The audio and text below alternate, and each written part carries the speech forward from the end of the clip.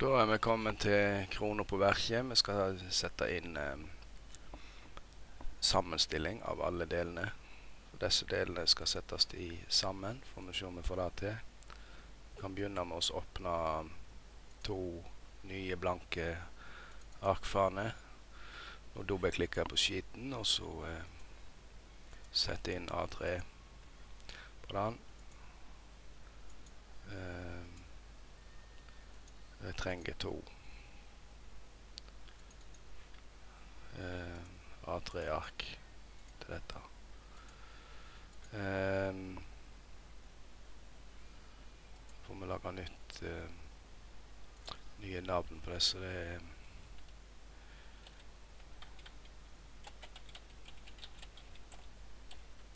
riss sammenstilt. Og vi har en som heter Nei, det var Tok jeg feil det.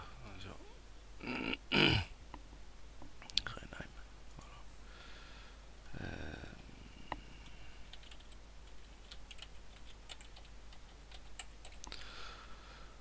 Sånn. Så da kan vi få sammenstilling og, og rissammenstilling inn da når vi har fått laga Det en gjør da eh, En går på mm, ny. Eller jeg kan ta det en annen plass. Vi se. Jeg bare lagrer den så X-er den ut. Skal vi se. En går på ISO Assembly, som er sammenstillingen. Eh, jeg kan jo bare ha referanseplaner her òg. Går jeg på Parts Library. Så var det ikke opplagring. Må jeg eh, finne den der eh.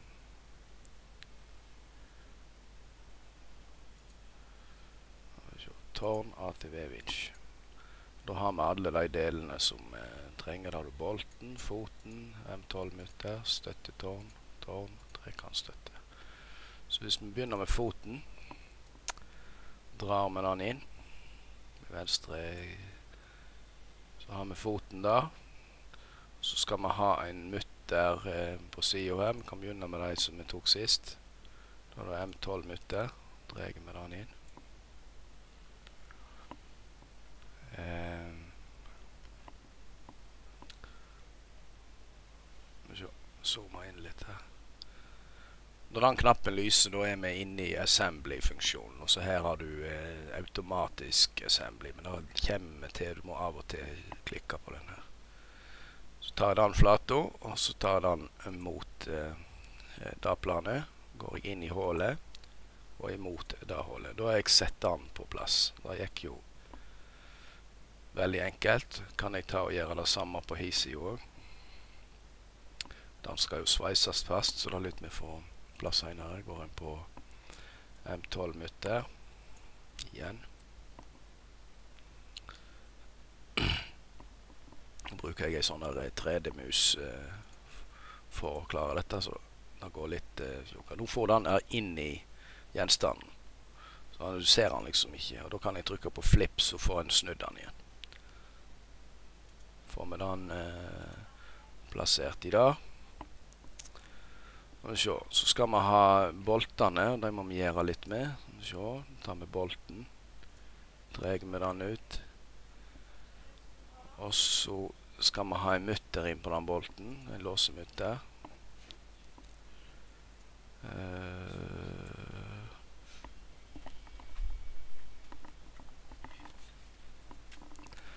Så eh, legger vi bare sylinderen, og så sylinderen der fikk man innpå. Eh, så kan vi Ja, vi legger bare den mutteren Legger man bare på planen med der. Ja. Og så kjører vi Må sikkert aktivere den. Tar vi den inn i sylinderen der. Da må flippe den så vi får den rett i veien. Kjører med Ja, jeg må visst ha en gang til inn på den der. Da planet. Snu litt på dette her. Hva er det da nå? Ja. Tar vi den innpå der. Da smalt den på plass. Så gjør vi det samme på hissida.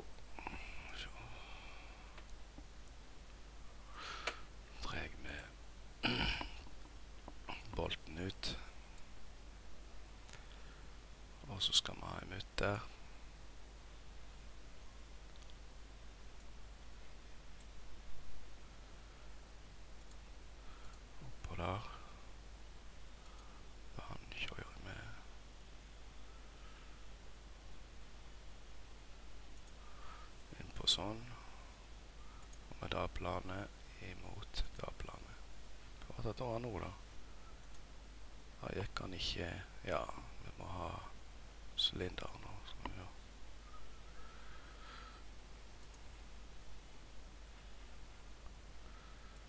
Var litt eh, Kunne tatt i motsatt rekkefølge, så hadde jeg fått eh, Men jeg fikk han bort. Sånn.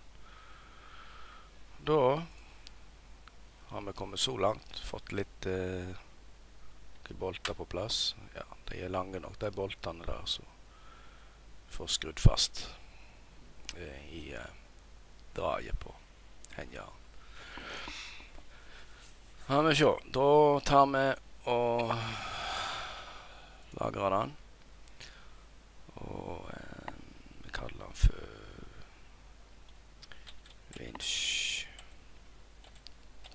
tårn komplett lagrer den.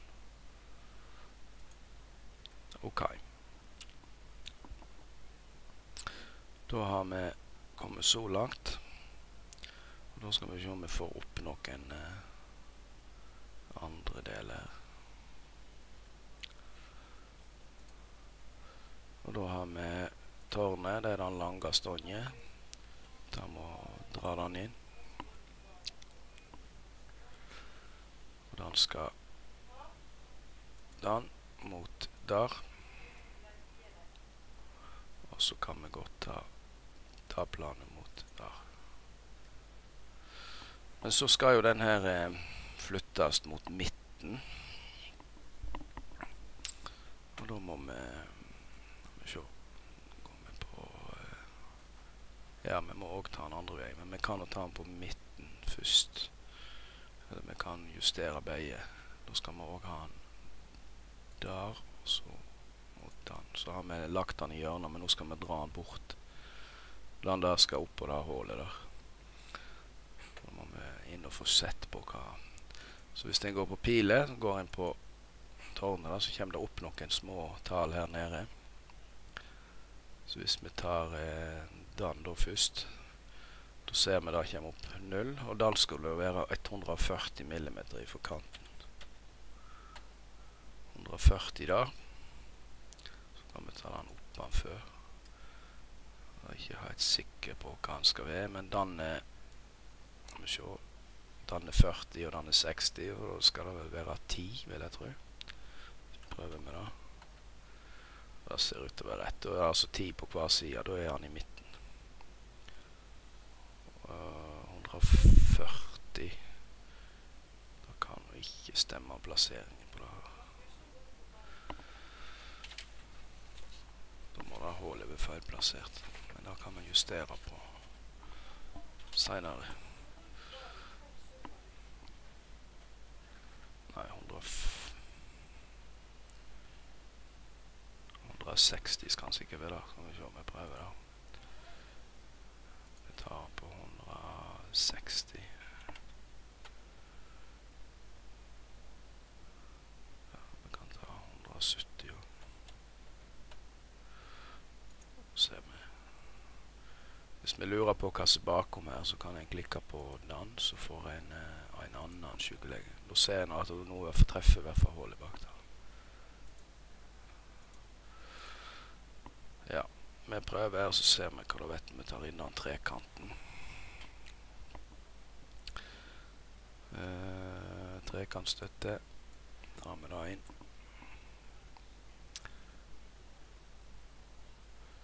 Og da skal mister han onde delen på han. Han skal der. Og så skal vi prøve å snu han og få ta den inn mot den. Mot der. Ja. Og så kan vi ta den mot der. Okay. Vi se, det var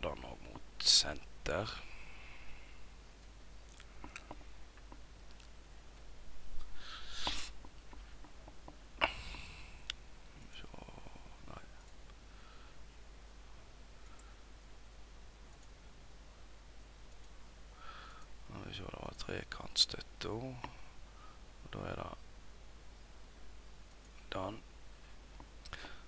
Og da er det 60 delt på 2.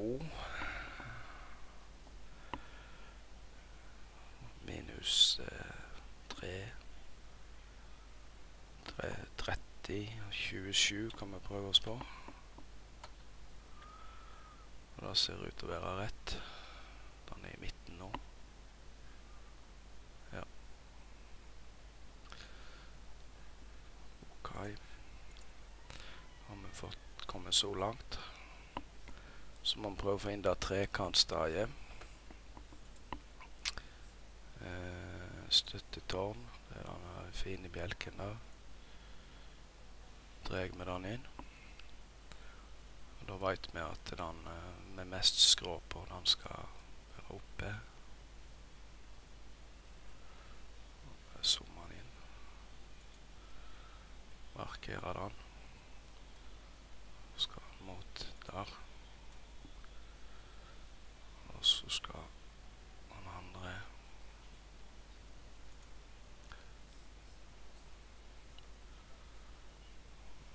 Og slutt på dette. Hva skjedde nå, da? Ja. Nå er han veldig langt vekk ifra, så vi får dabla ned mot Da kan vi prøve den mot der. Se, der smalt den på plass. Ja. Men se, da skulle vi hatt flytta den litt pga. hullet der. Vi treffer ikke det litt. Eller så kan vi flytte Nei, vi må flytte den litt, for det var litt Han kunne godt av å få plass til sveisen. Da så kunne den få flytte. Da går vi inn igjen på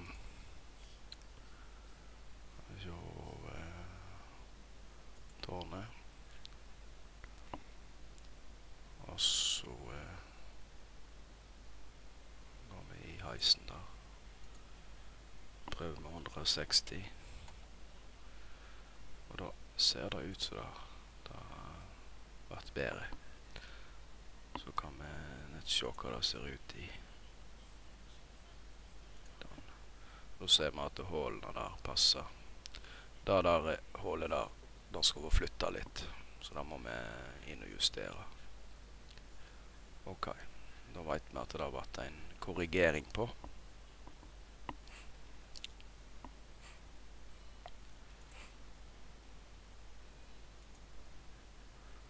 Og det kan vi gjøre her inne nå. Men først så tar vi og lagrer den. Hvis det er nå, eh, når en ser da at den eh, bommer litt, så kan vi dobbeltklikke på den. Så er vi inne i, da er vi inne i den parten, så nå står det fotpart. Og så går vi på eh, det hullet der. Går vi på Jeg kan dobbeltklikke og se. Der står det 200. Tar vi prøver vi med 180. Da fikk vi den i midten. Når vi først har driv på, så kan vi jo gjøre det med den samme med den hin